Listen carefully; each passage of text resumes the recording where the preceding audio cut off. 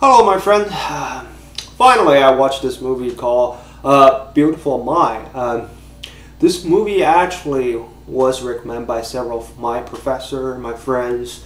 Um, they they told me absolutely you're gonna love it. Yeah, uh, I finally got time to watch it last night. Tell you the truth, yes, I absolutely love it.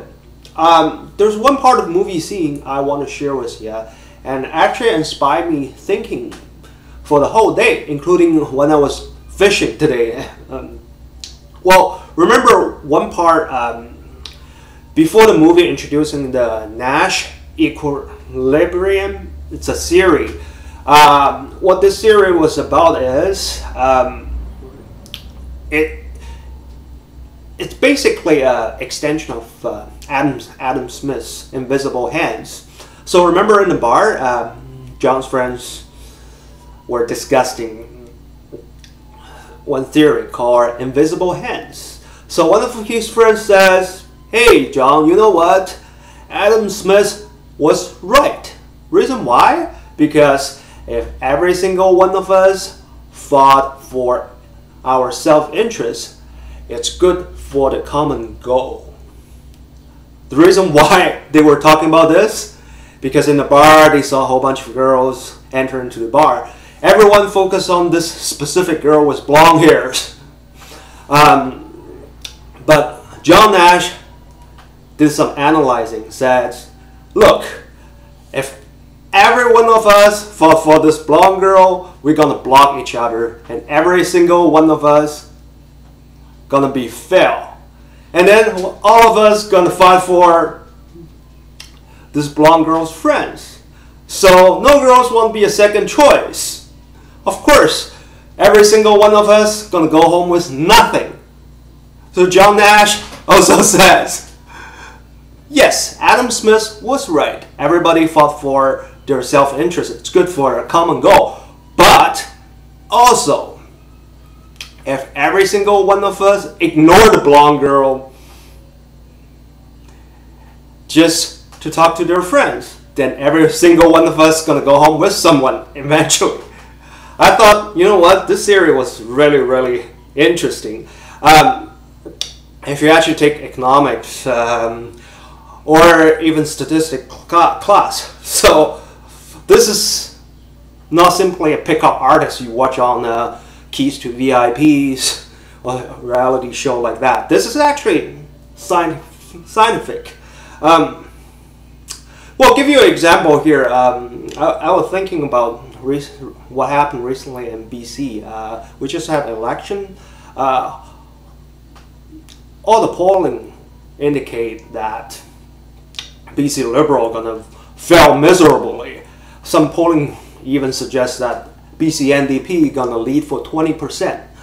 Um, during the elect during the three weeks election campaign, um, I'm pretty sure there's some mathematicians or sociologists or statistic scientists behind the BC Liberal. They have the very disciplined campaign. Remember what Christy Clark, the BC Liberals uh, leader, even suggests to their own party member, don't use my uh, leader figures in your uh, long, long sign.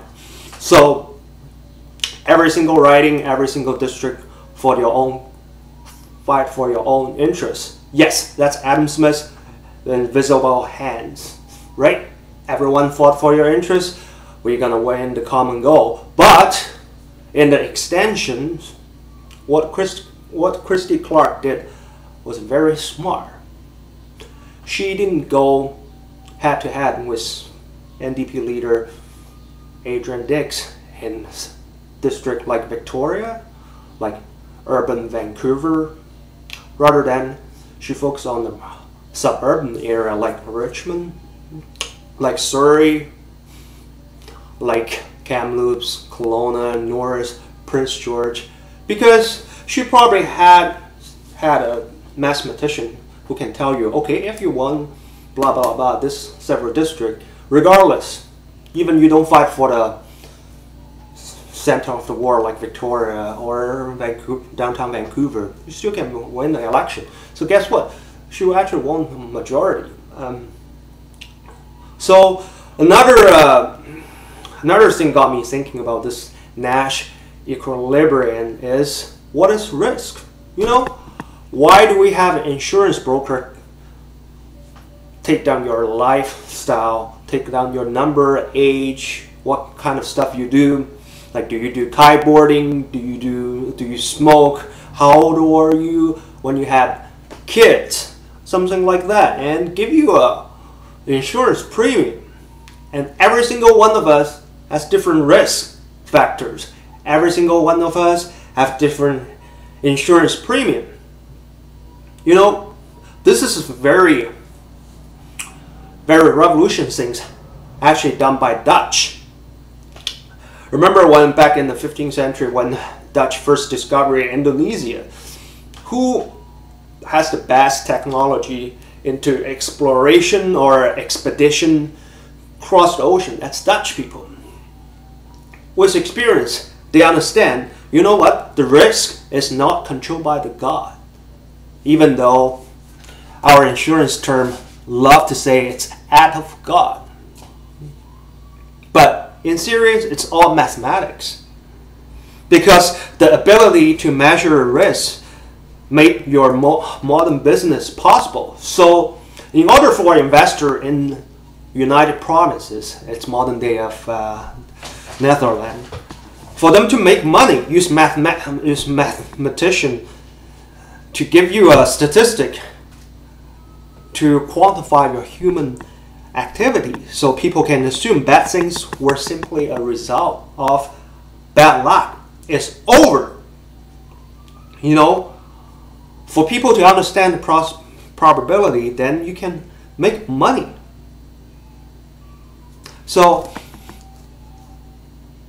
next time when you go into the bar, think this movie, A Beautiful Mind. Okay? So play your own game series. So, I mean, this is all related, right? Consider the probability of loss before you make any move. Any rational people can justify this. Okay? People who can tell you, oh, you don't need to calculate the probability. Just do whatever the best for your people and politician and business, this is not going to be success. I'm not going to debate with right or left, right or wrong. If you want to go into a war, if you want to go to business to make money, all you have to do, you have to think the prob probability. You have to do Nash equi equilibrium. So that this is the best thing I've ever learned from the movie. Okay, have a good night. Thanks.